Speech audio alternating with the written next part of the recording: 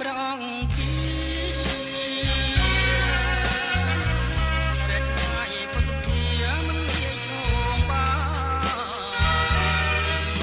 អើយទុំខ្ញុំក្រៀមក្រំពេញប្រាណលោកអើយទុំខ្ញុំក្រៀមក្រំពេញប្រាណព្រោះតែចង់បានកាយមកណកាយព្រះអង្គធានាមជាបោផាដែលដួងចិន្ពី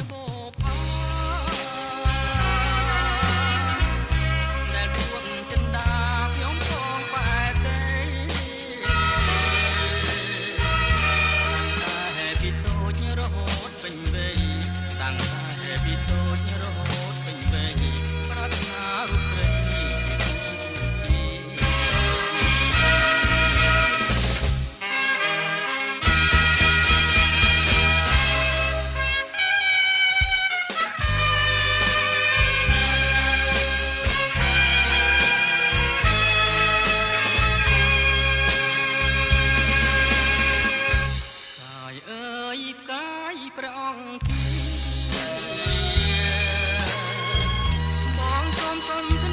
ភាសា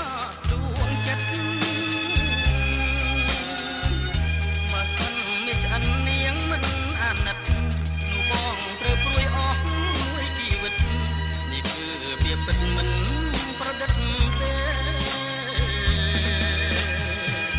អោបកាយស្នេហ៍អើយស្នេហ៍មានតែមួយ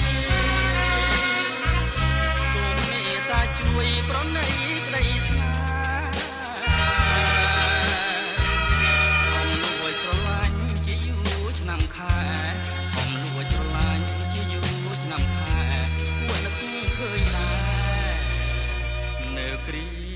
គ្មេ